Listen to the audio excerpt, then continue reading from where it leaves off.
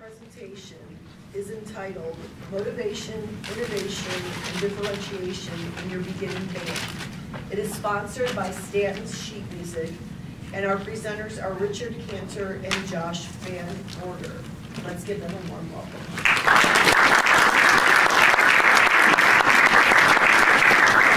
Thanks, Lydia. And uh, we want to say a special thank you to Stanton Sheet Music for sponsoring this session, really great. And thank you for coming. Um, this session was not listed in band sessions, and so I know, like for me, when I'm looking for sessions, I just go straight to band. I don't go to general sessions, and I don't go to showcase sessions because they're trying to sell me something. So ironically, we're going to try to sell you. Just kidding. Uh, so, but anyway, um, uh, all things, uh, you know, all joking aside, um, if you leave this clinic feeling like you have more tools in your toolbox, that's what we hope for. Um, because we're gonna we're gonna show you some things that are uh, hopefully a little bit different than what you're what you're doing, and some things that you may have already been doing that uh, that are just simplified a little bit, so it makes it a little bit easier for your teaching. So first of all, uh, before we get started, um, just a, a, quick show of hands. How many of you? Uh, well, how many of you teach beginning band? I'm assuming all you. Great. Okay. How many of you teach like an intermediate level band? Maybe an upper junior high level. Cool. How many of you teach high school band? Great. Okay, how many of you have beginning band five days a week? Well, that's nice. That is nice. Good for you. How many of you have uh, beginning band four days? Okay. Three, two, one. Ah, great. Okay, so this should be really great for all of you, and particularly if you have band one or two days a week, uh, we're going to find a way for you to actually be able to individually assess your students, which is something that can be very daunting.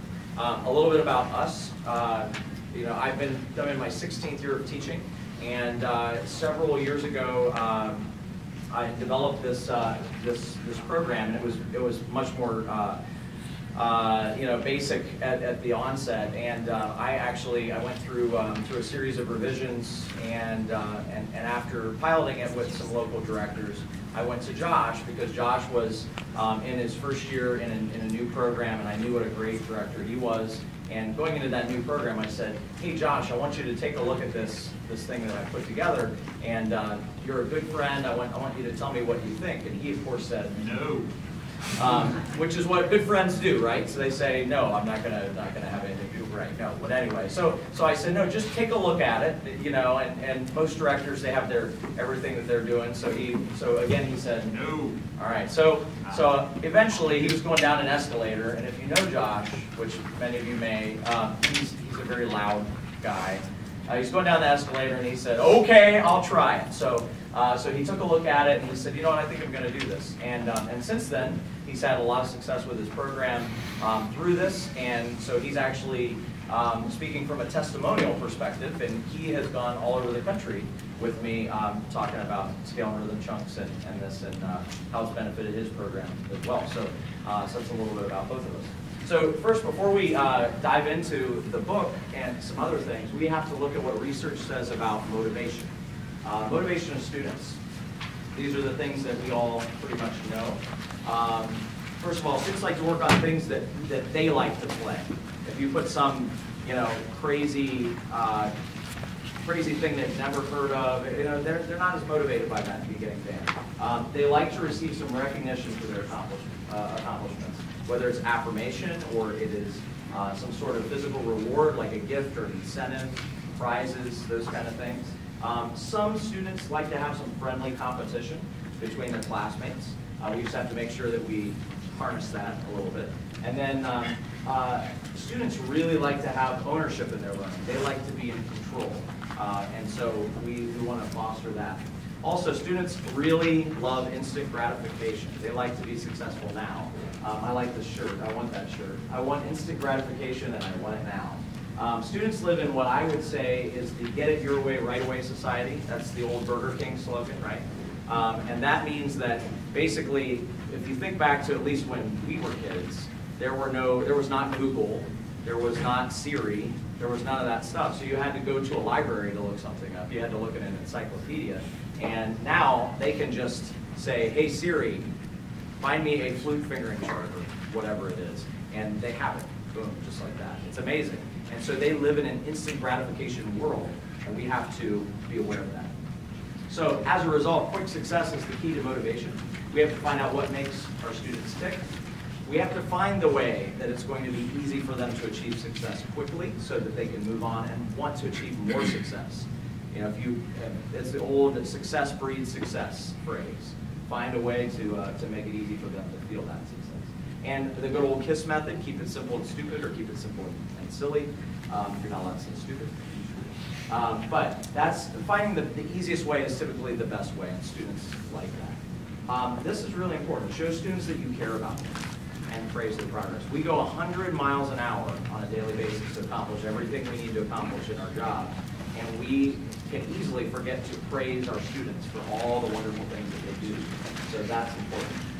Um, one of my favorite things to do is when a student accomplishes something really big, is to call home. And not just call home like later on after class.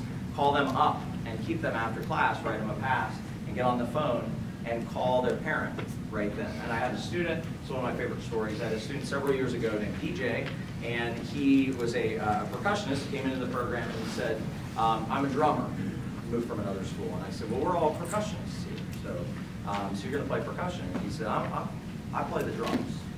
So I talked to his mom, and I, and, you know, early on, and we had a conference about what his expectations of the band. And I said, you know, we, we play all these instruments as percussionists. We play and we play, you know, snare drum, bass drum, et cetera.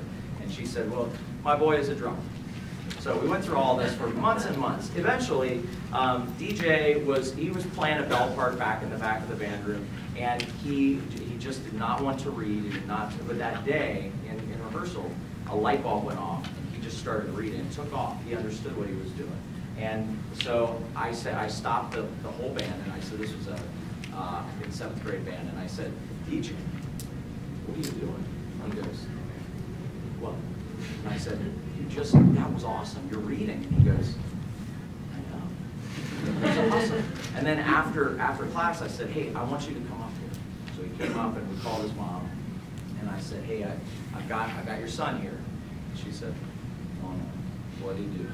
And I said, well, he became a percussionist. He's reading, he's doing a phenomenal job, and I want you to know I'm really, really proud she said, you get him on the phone right now.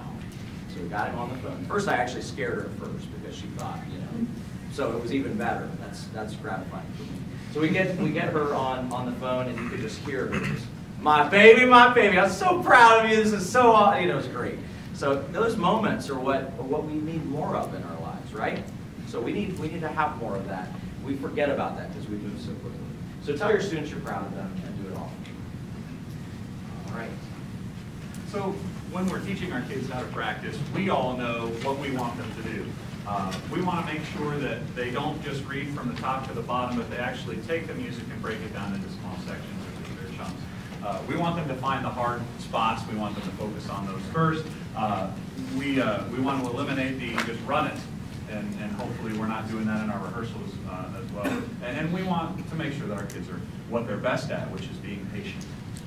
Uh, we, uh, we want to avoid the student approach to practicing, which is, of course, run through the song over and over and over, making the same mistakes all the time, or play until you make a mistake and quit, which we have found to be true in, uh, in our students.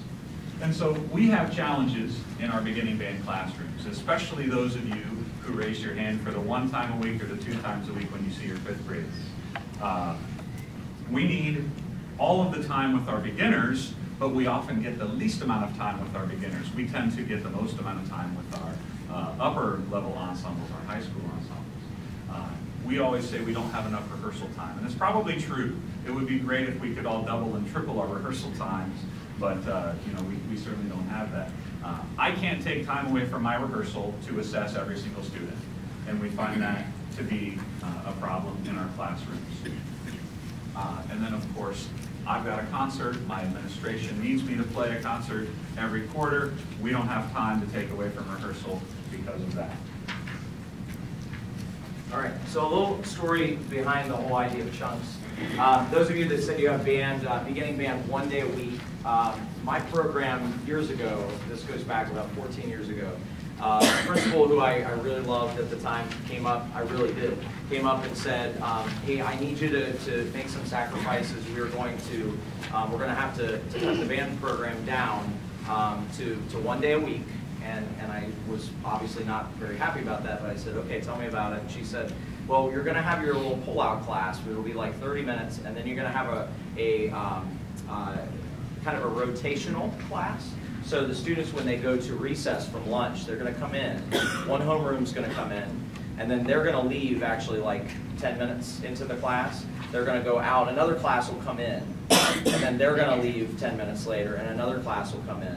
And I said, well, how am I gonna rehearse as an ensemble? And she said, I'm really sorry, but it should be, the schedule should be fixed in a couple of years. And I, I said, well, you know, I really, I, I don't know what to do with this, you know, and she said, well, I'm gonna do everything I can, but I don't, I don't know if it'll, it'll be short-term or long-term. So I went home and I thought, okay, my program's gonna go down the, down the tubes, this is the end for me, it's over, life is terrible, you know? And I talked to my wife, who uh, was a first grade teacher at the time, and I, and she said, well, you ought to look at it like how we, uh, we teach making words in, first grade. We talk about, um, you know, you take bake, and then you, you take the B off, and you put T on there, and you take take, and then you take little portions of words, you add other words onto them, and you, you kind of put little chunks of the words together, and I thought, chunks, that's it. So of course, like everything in life, a good husband gives all the credit to their wife. So she says, you gotta make sure you always tell people that I'm right and I'm the reason, so. Um, but anyway, she was very right, um, and so what I did was I, I had that rotational class. I couldn't teach them all together because when I started to teach them piece or something out of the method book, they would, they would leave, and it was very frustrating. So I created a level of fifth grade uh, scale chunks and fifth grade rhythm chunks, a level of sixth grade scale chunks, and a level of sixth grade rhythm chunks. And I gave them to the students. And I put a little generic wall chart that I drew up on the wall, um, and I, I gave them like dry erase marker at the time. And I handed them out to them, and I said, okay, I'm gonna just go around and assess you, thinking this is, this is it, this is gonna be terrible, I don't know what's gonna happen. And within a week, I had fifth graders playing chromatic scales, and I had, um, they were counting through complex rhythms, and they were saying, we need more levels. So in two weeks, here I am creating a third level and a fourth level, and it's just getting crazy. And uh, the students were taking off, and I wasn't teaching. So I thought, something is really crazy happening here, and like, my program is getting cut. I better not tell my administrators about this, because my program's getting cut and it's getting better, and I don't understand what's happening. So, so I thought, there's something to this. So, um, so what, what I did was from there, like I, I mentioned, I, I did a pilot study with some other directors, and I did, as part of my master's degree, I did a research uh, project on this. And, uh, and then I, eventually I took it to Josh and other directors. So, um, so that's kind of the story behind, behind Chunks. Um, our ultimate goals as band directors, um, we want, obviously, we want the material that we teach, that we teach to be retained.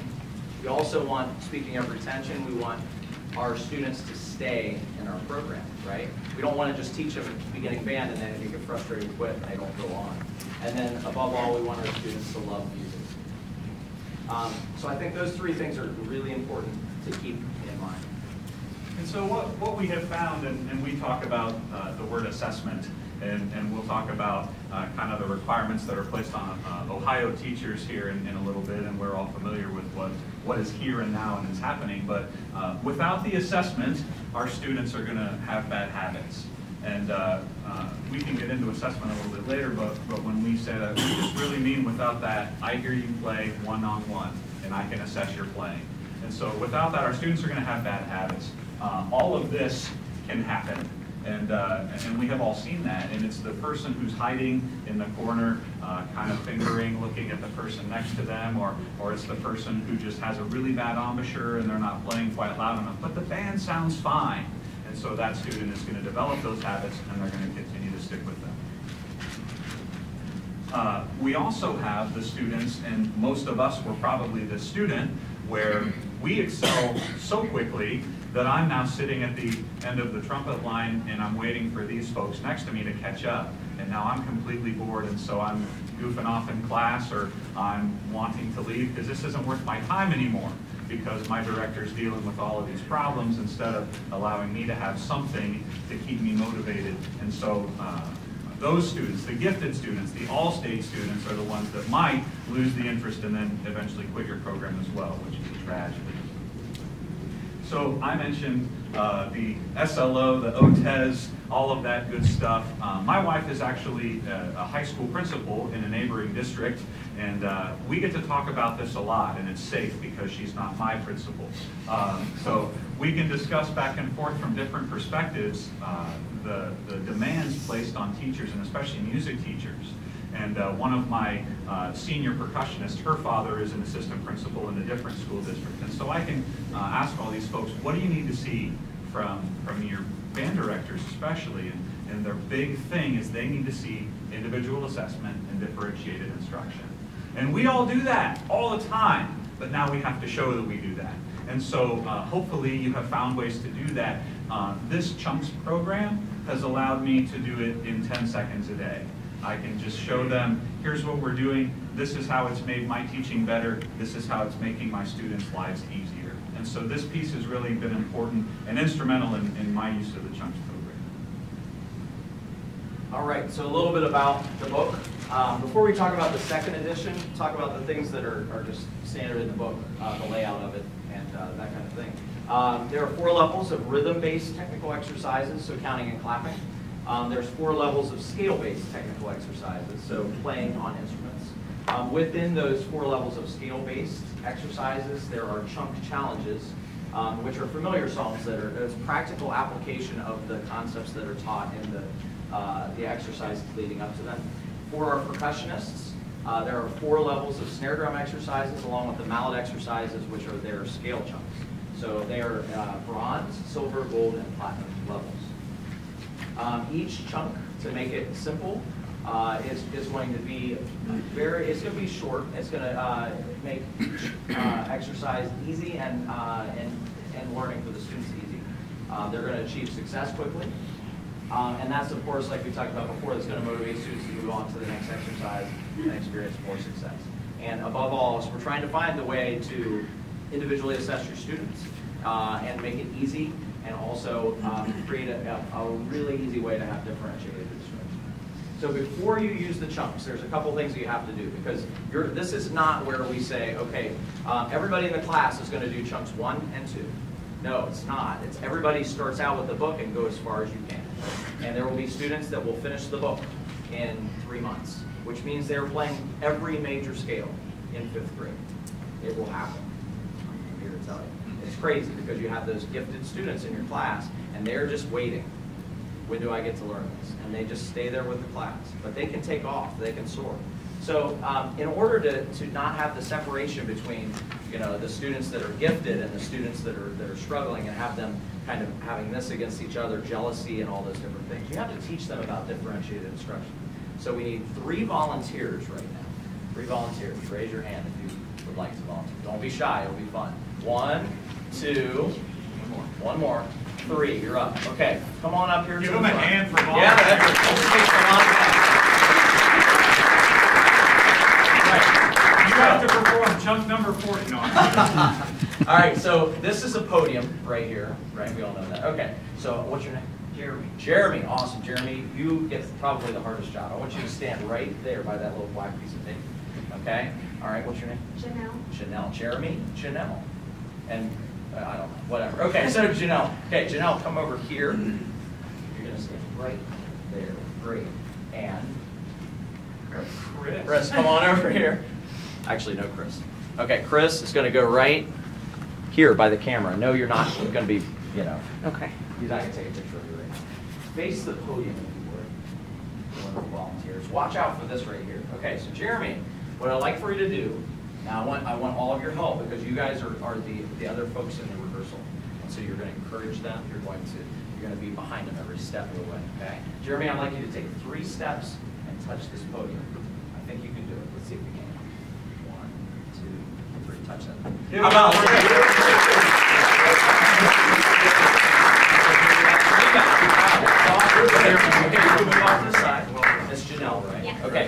Janelle, I want you to take three steps and touch that podium. One, two, three. She made it. How about Now, since we did this in Texas one time, and there, there was, a- it was a really big auditorium, and um, a uh, one person that was doing this, where, where Chris is, um, uh, rolled all the way up. Um, You cannot, you cannot roll, you cannot, you cannot do cartwheels, you cannot, uh, although that was very entertaining. Um, You just actually have to take three steps, Chris, so one, two, oh. Oh, terrible. Oh. You're the worst. All right, that's not very encouraging, is it? Now, how about this though, this perspective?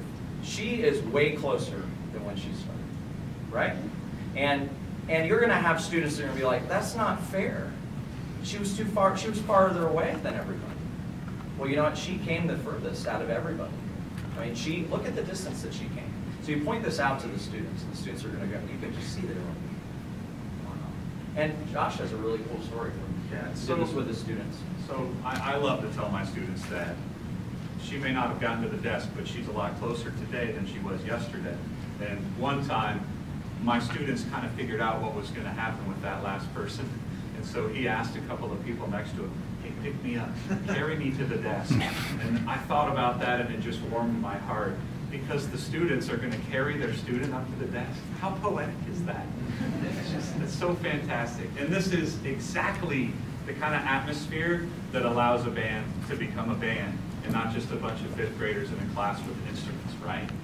So this demonstration not only teaches them about differentiated instruction, it teaches them how to care about each other and how to be better people. And uh, that's kind of the reason why we exist anyway.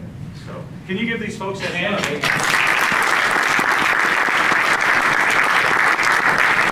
by the way, feel free, make sure that you see us for your I Heart Chunk shirt after the presentation.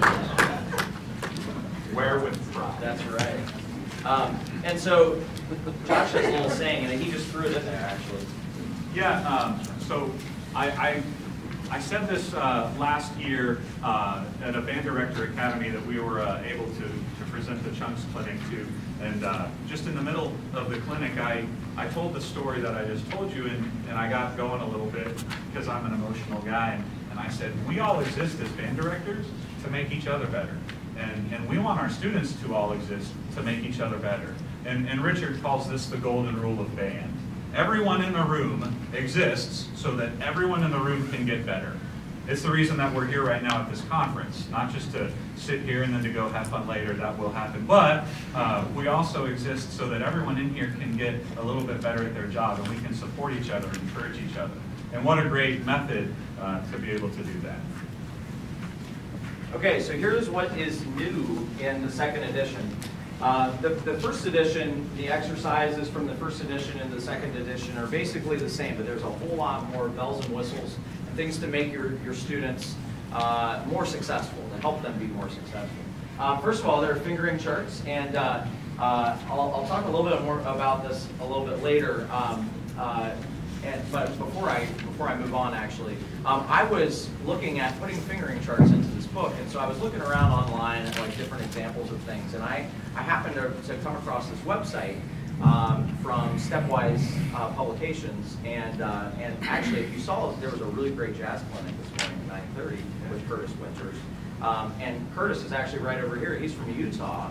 Um, and he, he had these fingering charts that were extremely innovative and completely different than what you would see in, in the back of a method book. And I was just so amazed by this. And I went out on a uh, kind of a long shot. I, I sent an email to him, and he replied back in like, boom, like five minutes. And, um, and he was willing to kind of partner up with us. So we have his fingering charts in the book. So Curtis is awesome. If you get a chance, come talk to him because he has a wealth of knowledge and resources uh, through his website. Um, and he, uh, actually fingeringcharts.org, which is really great, and a lot of really uh, some free things in there and some other great resources that you can purchase. So there are fingering charts. We'll talk a little bit more about them and show you some examples in a bit. Dynamic guides. Uh, there are guides in each book for the wind players to show the change in speed of airflow. So we're going to be talking about breathing gym applications for the book. Um, percussion guides also have stick and mallet height um, for each dynamic as well. Some pictures of that. There is an, um, these are all in each level, by the way. They show them as they're introduced, but in the front of the book, it's kind of like one-stop shopping. So it'll show you um, the full guide of dynamics, the full guide of articulation, and everything easy to explain. So articulation, same thing as well. And then for percussion, all of the rudiments are laid out from easiest to most difficult. um, on two pages. And then for the terms that are introduced in the book, uh, things like legato, that, that type of thing, those are in there as well. Also new in the second edition, uh, we, we heard from many directors uh, after the first edition um, that was published that um, having boxes around the notes was blending in with the, with the staff and the ledger lines above the staff, and so it's hard to read. So I changed those to ovals around the notes. Also, um, particularly in the percussion, but in all the exercises, the, the font and, and the exercises are larger. Um, this book is also used by some New Horizons bands, um, so older senior citizens, and, and it wasn't really fair to them. Um, here you're reading the percussion exercises, and they're like, like that, and they're doing that is just not good. So that, that are much, much bigger. Um, there were some errors, just like any first edition, if you see in a, in a method book, you'll see errors in the first edition and then they fix them. So there, there are no errors in this edition. Um, more focus on each instrument's technique. In the last book, there was a flute oboe book combined. This, uh, this time around, there's a flute book and an oboe book. And there, it, uh, there are discussions or, or uh, descriptions in there about important things to keep in mind when you're playing in different registers, like you're playing the altissimo register, for example, suggestions on how to approach that. Um, and like I mentioned before, there are now applications of the Breathing Gym series. Um, this book is actually published through Focus on Music, which is the same publishing company as the Breathing Gym, which many of you, how many of you know of the, the Breathing Gym? Great. So uh, because we're, we're able to, uh, to do some great things with them, and, and we've done some clinics with Pat Sheridan, um, we're able to, to uh, uh, put that in there as well. So a um, couple things with, uh, with chunking. So when you start to actually implement this program, uh, there are a couple of fast rules, and the students need to know the rules of chunks. And uh, the first rule is the chunks have to go in order, because a lot of times the students, like maybe we did, will flip to the last chunk and say, I can do that one, and you'll say, hey, good for you, check off the rest first. Uh, they have to go in order because, like Richard said, this is a hierarchical concept. We want to build every new chunk onto the previous chunk so that we have a wealth of knowledge. Um, we also want to perform our rhythm chunks by clapping and counting. Uh, we'll talk about that in just a little bit. And uh, the scale and snare chunks are performed on the instruments. So you have the rhythm piece uh, for, for just learning how to count, learning how the rhythms work, and then you have the playing piece so that you are becoming literate on your own instrument. These are our wall charts. Uh, we find great success in using the wall charts. You can use a sticker or a marker to fill in a different color month. Uh, Richard's going to throw one up here. You can see uh, this star sticker was the very first one, so everybody got that done. And then you can see this person did four in that first month, where uh, this person was at two. Everyone is showing their own growth. Obviously, it's differentiated because this guy got all the way done in this year with uh, his rhythm chunks. Some of them are still progressing. Uh, everybody is moving at their own pace. It's one of my absolute favorite pieces of the Chunks program is that I can meet you right where you are at your ability level today, and I can make you better. Uh, I have a poster in the front of my room that says, get better today, and the chunks allow every student to do that where they are, which is the most important. The best part about that is that you're not going to have to mark anything in a grade book. Um, so if you tell a student, yep, you got that, mark it off. All they do, they go over and they mark their progress on the wall. You can go over and check on that later um, and, and see that. Uh, so with the rhythm chunks, uh, what you're seeing on the left side is the rhythm guide that would be on, this is not all on one page, that's like the left page, which goes right next to the right page when you open it up. So this is a guide over on the left, and uh, you can actually go home, students can go home, have all the concepts there. Uh, if you're there performing them, you can actually close up the book and just use the right side if you know that they're, but it's kind of like, um, you know, free information there on the left, that that's not harming anybody by having. An on-purpose cheat sheet. Yes. Um, with the rhythm chunks, they're performed by counting and clapping. I always tell my students you must be confident counters, because at first, you know, they'll be like, one, two. Can't hear them, so you gotta be confident. The chunk clap, which we'll be uh, talking about later, everybody take two fingers and hold them up like this. The one hand, two fingers in this hand, hit them together as hard as you can. That's as loud as it is. So when, when you do that, when you're going around and, and checking people off on, on chunks, we'll talk about later, um, and you can do this with some airflow exercises as well. Um, it's not super loud. Um, and so when we do breathing exercises, uh, we can use those with rhythm chunks as well. And then, of course, you actually can play rhythm chunks by playing a repeated scale pattern on uh, each measure. So the layout of the, of the rhythm chunks, we already saw bronze. Silver moved into some 16th note subdivisions and, um, and uh, eighth rests and things like that. Gold rhythm uh, moves into, and again, these are sequential. So it's going one, one uh, you know, element at a time. Uh, This is moving into cut time, and then six eight, nine eight, eventually moving into going back and forth between two four and six eight. Platinum rhythm chunks uh, going into complex meters, and actually moving back and forth between, you know, um, like five eight, four four, seven eight, that kind of thing. And number 40 is what we call the kitchen sink, um, because it has absolutely everything that you could possibly throw into it. It's really pretty cool. Um, As far as quick assessment goes, um, we can tell you that it is really easy to assess and it won't take much time, but we're going to show you. So everybody, what we're going to do is we're going to do a regular clap. So everybody take two hands and just sit them together as hard as you can. Now, it's loud. Okay, cool. So now what we're going to do is we're going to top of the counter. So we're going to keep, we're going to use the counting system of one and two and three and four and on the rest, if you just bring your hand out here on the rest and go ahead and clap the rhythm and count out loud the subdivision. Let's do it. Two and ready and go.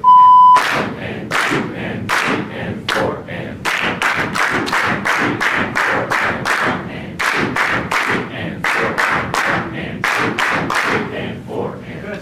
like 10 or 11 seconds, I started a little early, but that's okay. I'll learn. It's okay, all right. So, uh, so like basically 10, 10 seconds or so, you can assess every individual student, which is really great. Um, because when we normally do our assessments, think about the time you spend just sitting there listening, listening, and it goes on and on. And really, we're just, we're attacking the concepts that they're learning, and they're showing you right now what they can do. Moving on, having quick success. With airflow, let's go back to the chunk clap. Hit that chunk clap for me, go.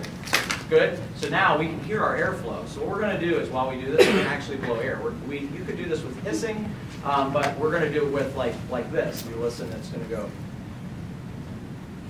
Which if you hear me, you can't hear that as much, but if you do it as a whole ensemble, you can. So we're going to do the rhythm. We're going to now internalize our counting, and we're going to use airflow out this one. Ready? One and two and ready and go.